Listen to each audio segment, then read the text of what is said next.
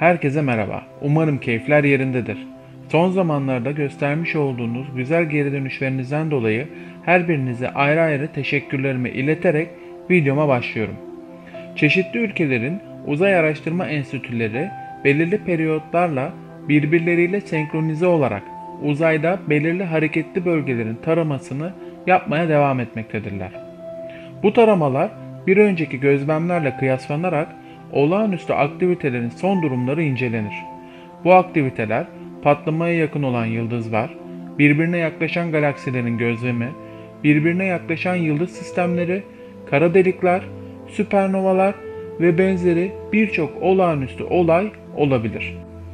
Bu şekilde değişimi merakla beklenen, daha önceden keşfedilmiş ilginç bölgelerin gözlemleri de sürekli aynı yöntemle takip edilmektedir. Takip edilen önemli bir nokta olan Betelgeuse yıldızının son durumunu size daha önce anlatmıştım ve izlemek isterseniz bağlantı linkini yukarıda bulabilirsiniz. Ben izlemenizde fayda olduğunu düşünüyorum. Çünkü gerçekten bu yıldızın başına gelebilecek olaylar bizim için olağanüstü olabilecek düzeydedir. Bununla birlikte olağanüstü başka bir olay olan ve uzayda bizim çok sık rastlamadığımız başka bir hareketliliğin de yine gözlemine devam edilmektedir. Bu gözlenen noktanın en büyük özelliği ise bir çift yıldız sistemini barındırıyor olmasıdır. Bu çift yıldız sistemi nedir? Çift yıldız sistemi VFTS 352 adı verilen yaklaşık 160 bin ışık yılı uzaklıkta Tarantula bulutusunda yer almaktadır. Bu dikkat çekici bölge yakın evrendeki en aktif yeni yıldız oluşum bölgesi olup ESO gözlem evinden yapılan yeni gözlemlere göre bu genç yıldız çifti bulunan en aşırı ve acayip örnekler arasındadır. VFTS 352 sistemi birbirleri etrafında bir günden fazla bir sürede dolanan, çok sıcak, parlak ve büyük kütleli iki yıldızdan oluşmaktadır. İki yıldızın merkezleri arasındaki uzaklık sadece 12 milyon kilometredir. Aslında yıldızlar birbirlerine o kadar yakındır ki yüzeyleri temas halinde olup arada bir köprü bile meydana gelmiştir. VFTS 352 bağlantılı çiftler olarak bilinen bu küçük sınıfın sadece en büyük kütleli üyesi değil ki toplam kütlesi Güneş'in 57 katıdır. Aynı zamanda en sıcak bileşenlerini de içermektedir. Yıldızların yüzey sıcaklıkları 40 bin derece santigratın üzerindedir. VFTS 352'nin iki bileşeni gibi aşırı özellikler sergileyen yıldızlar, gök adaların evriminde anahtar rol oynamakla birlikte oksijen gibi elementlerin ana üreticileri oldukları düşünülmektedir. Bununla birlikte VFTS 352'de sistemdeki her iki yıldız da neredeyse aynı boyutlara sahiptir. Ancak içerik olarak madde akışı birinden diğerine değil de ortak paylaşım durumundadır. Normalde bu tarz sistemlerde bir yıldız küçük ve diğeri çok büyük olur. Madde akışı ise büyük yıldızdan küçük yıldıza olacak şekildedir.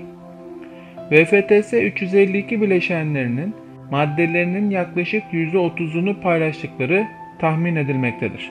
Bu tür bir sistem nadir olarak gözlenebiliyor. Çünkü yıldızların yaşamında bu dönem oldukça kısa sürüyor. Bu da sistemi eylem halinde yakalayabilmeyi daha da zor hale getiriyor. Yıldızlar birbirlerine çok yakın oldukları için gökbilimciler güçlü çekim etkileri nedeniyle yıldızların iç kısımlarındaki maddelerin birbirlerine karışarak zenginleştiğini düşünüyor. Gökbilimcilere göre VFTS 352 iki şekilde de bir felakete sürüklenecek. İlk olası senaryoya göre yıldız birleşerek daha hızlı dönmeye başlayan muhtemelen manyetik dev bir yıldıza dönüşecek. Eğer bu şekilde hızlı dönmeye devam ederse yaşamını evrendeki en yüksek enerji eşiğine sahip patlamalardan biriyle sonlandırabilir. Bu uzun süreli gamma ışın patlaması olarak biliniyor. Diğer adıyla süpernova.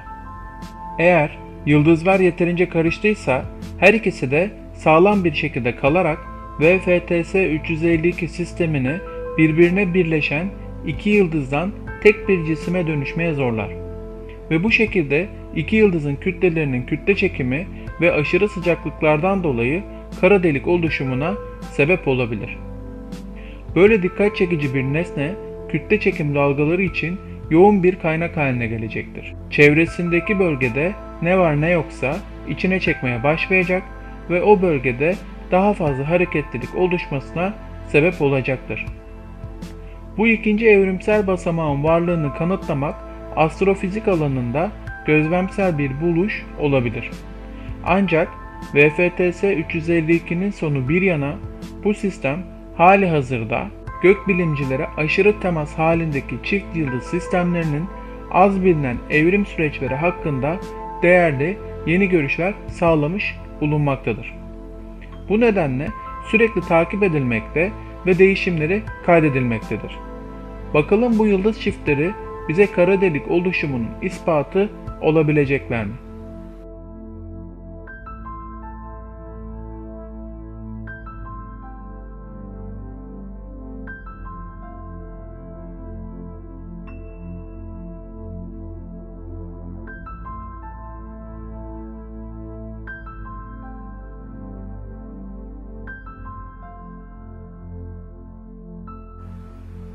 Yayınımı sonuna kadar izlediğiniz için teşekkür ederim.